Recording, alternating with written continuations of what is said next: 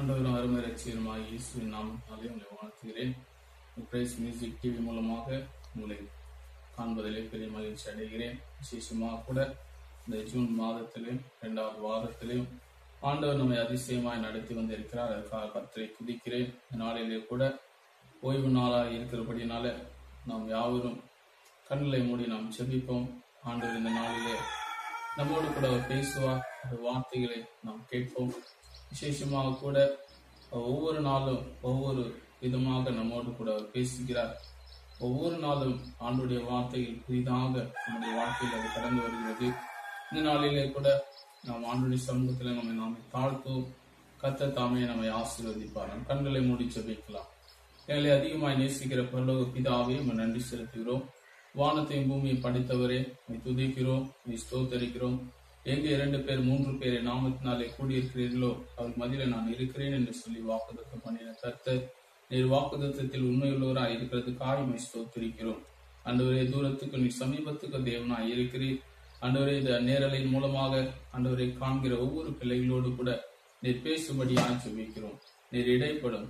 ஆண்டவரே உடைய கரத்தில் ஒப்பு கொடுக்கிற ஆண்டவரே இந்த சத்திய வார்த்தைகளை நாம் கேட்கும் பொழுது எங்களுடைய இருதயம் ஆண்டவரை கொழுந்து விட்டு எரியும்படியா நீ செய்யும்படியா ஜெபிக்கிறோம்.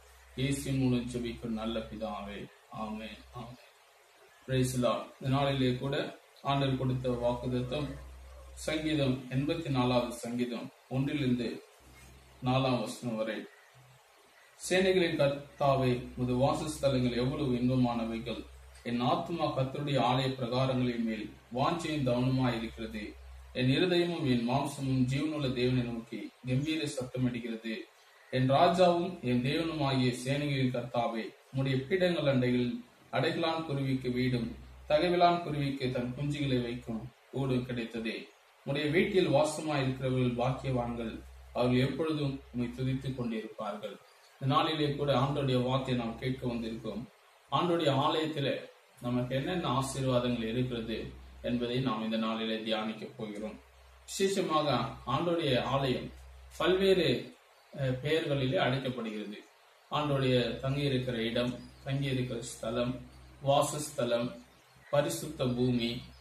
இன்னும் வேதத்தில் பார்க்கும் பொழுது தேவ சபை உமது வீடு தேவனுடைய வீடு தேவனுடைய வாசஸ்தலம் தேவனுடைய வாசல்படி தேவனுடைய சந்நிதி இன்னும் பல தேவனுடைய ஆலயம் தேவனுடைய சரீரம்.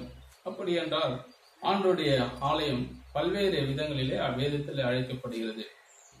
அவர் வந்து தங்கி இருக்கிற ஸ்தலம் என்று சொல்லப்பட்டிருக்கிறது இப்போ சாலமோன் கட்டின தேவாலயம் மகா பெரிய தேவாலயமா இருந்தது.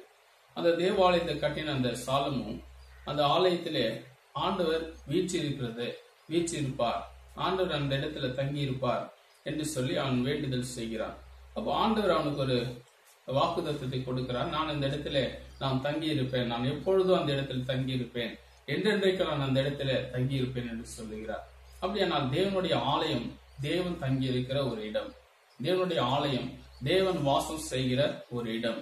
தேவன் தங்கி இருக்கிற அந்த ஸ்தலத்துல எல்லா விதமான ஆசீர்வாதங்களும் நன்மைகளும் தேவனுடைய ஆலயத்துல காணப்படுகிறது. விசேஷமாக சாலமுன் ஜெபித்த பொழுது ஆண்டு சொல்கிறார் இந்த இடத்துல எப்பொழுதும் என் கண்களும் என் இருதயமும் என்னாலும் தங்கியிருக்கும் என்று சொல்கிறார். அப்ப ஆண்டவருடைய ஆலயத்துல ஆண்டுடைய கண்கள் எப்பொழுதும் தங்கி இருக்கிறது அவருடைய வாசஸ்தலத்துல அவர் வீற்றிருக்கிறார். அப்ப அன்னால் பார்க்கிறோம் அவருடைய மன வேதனை நிமித்தம் அவர் ஆண்டோடைய ஆலயத்தை நோக்கி ஓடுகிறார். ஆண்டவர் தங்கி இருக்கிற அந்த ஸ்தலத்தை நோக்கி ஓடி ஆண்டவர் இருக்கிற அந்த இடத்துல அவர் போய் முறையிடுகிறார். முழங்கால் படியிட்டு ஆண்டவரை நோக்கி ஜெபிக்கிறார். அப்போ வானத்தில் இருக்கிற ஆண்டவர் பரலோகத்தில் வீச்சிருக்கிற ஆண்டவர் அந்த ஜெபத்தை கேட்கிறார். அப்படி என்றால் ஆலயம் என்பது ஆண்டவர் தங்கியிருக்கிற ஸ்தலம் என்று அழைக்கப்படுகிறது. இந்த நாளிலே கூட இந்த கோராகின் புத்திரர் எழுதின இந்த சங்கீதத்துல முதலாவது வசனம் சொல்றது சேனைகளின் கர்த்தாவே முதல் வாசஸ்தலங்கள் எவ்வளவு இன்பமானவர்கள். How pleasant your place your dwelling place என்று ஆங்கிலத்தில் சொல்லப்பட்டிருக்கிறது.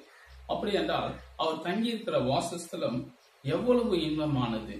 இன்பமானது என்று சொல்லி பார்க்கும்போது அந்த இடத்துல ஒரு சந்தோஷம் நிறைந்த ஒரு இடமா இருக்கிறது சமாதானம் நிறைந்த ஒரு இன்பமா இருக்கிறது அப்படி என்றால் அவர் விரும்புகிற இடம் மிகவும் ஒரு அமைதியான ஒரு இடமா இருக்கிறது.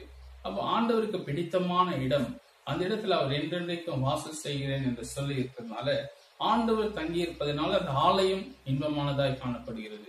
இல்லை என்றால் அது வெறும் ஒரு கட்டிடமாக காணப்படும். ஆனால் அந்த ஆலயத்தில் ஆண்டவர் வீற்றிருக்கிறதுனால அந்த ஆலயம் ஒரு இன்பமான இடமா இருக்கிறது. அடுத்ததாக கூட நாம் பார்க்கிறோம் என் ஆத்மா கத்தருடைய ஆலய பிரகாரங்களின் மேல். வாஞ்சியும் தவனமாய் இருக்கிறது என் இருதயமும் என் மாம்சமும் ஜீவனுள்ள தேவனை நோக்கி கம்பீர சத்தம் விடுகிறது இந்த இடத்தில் நாம் பார்க்கிறோம் அவருடைய ஆத்மா கத்தருடைய ஆலயத்தின் மேலே வாஞ்சியா இருக்கிறது இந்த நாளிலே கூட ஆண்டோடைய ஆலயத்தின் மீது நாம் எவ்வளவு வாஞ்சியா இருக்கிறோம் ஆண்டோடைய ஆலயத்துக்கு செல்லும் பொழுது நாம் எவ்வளவு வாஞ்சியா இருக்கிறோம் இன்னொரு இடத்துல சங்கீதக்காரன் சொல்லுகிறான் நான் ஆலயத்துக்கு கத்தருடைய ஆலயத்துக்கு போகும் வாருங்கள் என்று சொன்ன பொழுது நான் மன மகிழ்ச்சியா இருந்தேன். அப்படி என்றால் பல்வேறு இடங்களிலே கிடைக்காத ஒரு சந்தோஷமும் சமாதானமும் ஆண்டோடைய ஆலயத்திலே கிடைக்கிறது. எனக்கு அன்பான தேவனுடைய பிள்ளைகளே அப்போ ஆண்டவருடைய ஆலய பிரகாரங்களின் மேலே நம்முடைய ஆத்மா வாஞ்சியா இருக்க வேண்டும் தாகமா இருக்க வேண்டும். ஆண்டவருடைய சமூகத்தை நாம் போகும்பொழுது ஆண்டவர் என்னோடு கூட பேசுவார் ஆண்டவர் என்னோடு கூட இடைப்படுவார். அவருடைய வார்த்தைகள் ஒன்று என்னோடு பேசுவார். அப்படி என்று நாம் தாகத்தோடு நாம் செல்ல வேண்டும். ஆலயத்துக்கு அநேகர் பல்வேறு காரியங்களுக்காக வருகிறார்கள். ஒரு திருமணம் ஆக வேண்டும் வருகிறார்கள். எனக்கு ஒரு குழந்தை பாக்கி வேண்டும் என்று வருகிறார்கள். இன்னும் பல்வேறு வேலை கிடைக்க வேண்டும் என்று வருகிறார்கள். தங்களுடைய சுய லாபத்துக்காக வருகிறார்கள். ஆனால் அது கிடைத்தவுடன் அதை மறந்து விடுகிறார்கள்.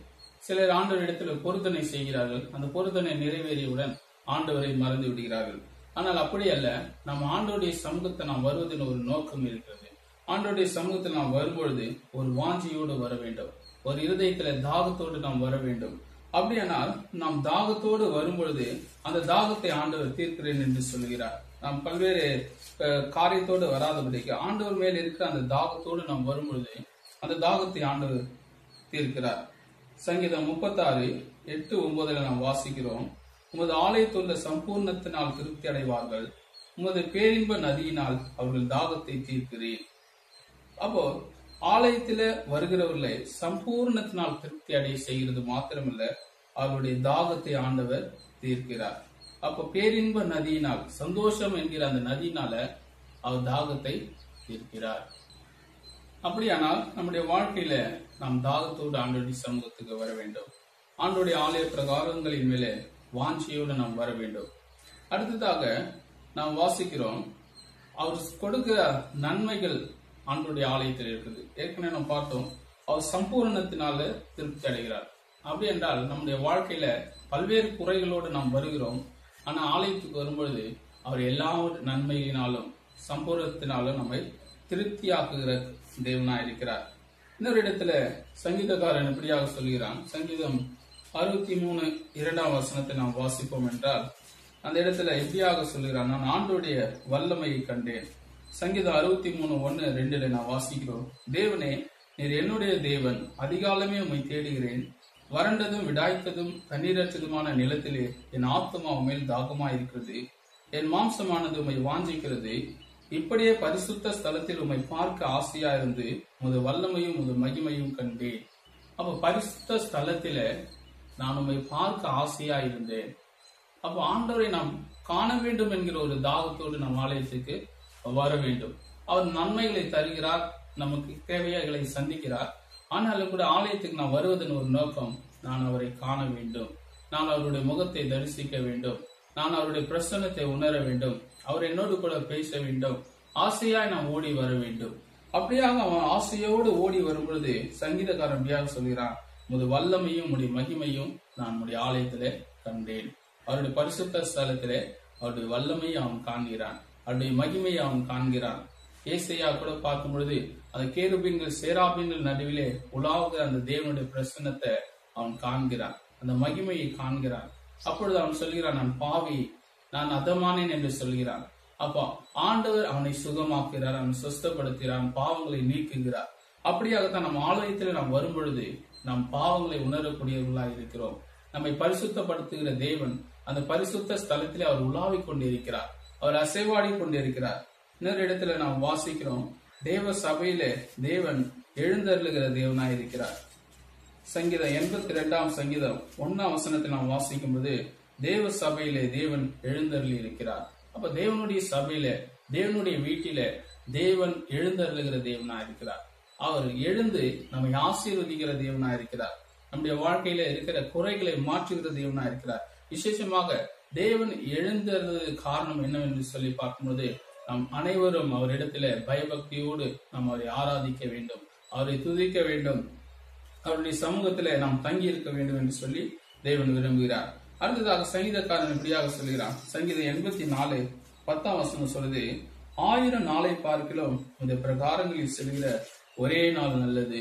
ஆகாமிய கூடாரங்களில் வாசமாய் இருப்பதை பார்க்கிலும் என் தேவனுடைய ஆலயத்தின் வாசற்படியில் காத்திருப்பதையே தெரிந்து கொள்வேன்.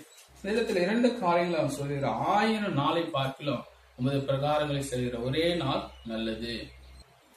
அப்படி என்றால் ஆண்டுடைய சமூகத்துல இருப்பது ஆயிரம் நாளைக்கு சமமாயிருக்குது இப்போ ஒரு நாள் நம்ம ஆலயத்திலே நாம் தங்கி இருக்கும்போது அது அவ்வளவு ஒரு சந்தோஷம். ஆயிரம் நாளுக்குரிய அந்த சந்தோஷத்தை ஆண்டவர் கொடுக்கிறார். ஆயிரம் நாளை பார்க்கணும் ஒருவேளை ஆயிரம் நாட்கள் நாம் பல இடங்களில் நாம் செலவுப்படுவதை விட ஒரு நாள் ஆண்டவருடைய பிரகாரத்திலே நாம் தங்கியிருப்பது நல்லதாயிருக்கிறது.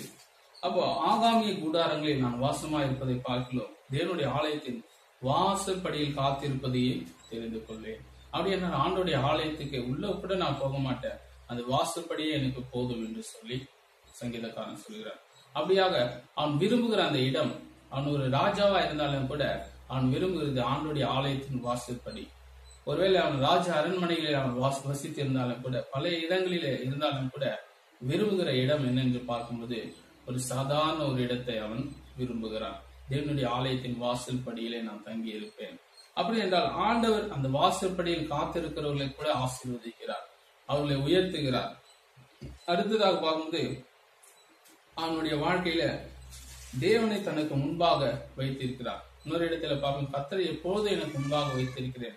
அவர் என் வலது பரிசத்தில் இருக்கிறபடியால் நான் அசைக்கப்படுவதில்லை என்று சொல்கிறார் இந்த இடத்துல பார்க்கிறோம் என் ராஜாவும் தேவனுமாகி சேனைகளின் கத்தாவே உடைய பீடங்கள் அண்டையில் அடைக்கலாம் குருவிக்கு வீடும் தகவிலான் குருவிக்கு தன் குஞ்சுகளை வைக்கிற கூடும் கிடைத்தது. ஆம்.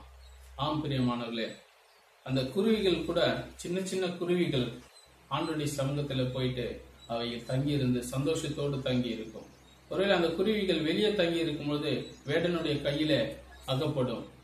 யாராவது அதை அடித்து விடுவார்கள். ஆனா ஆண்டுடைய சமூகத்துல அந்த குருவி பெரிய பெரிய ஆலயம் அந்த காலத்தில் இருந்தது. சாலமோன் கட்டின ஆலயம். அப்ப அந்த சிறு சிறு குருவிகள் அடைக்கலான் குருவி தகவிலான் குருவி இந்த சிறு சிறு குருவிகள் எல்லாம் போய் அந்த இடத்துல குஞ்சுகளை வைத்தது.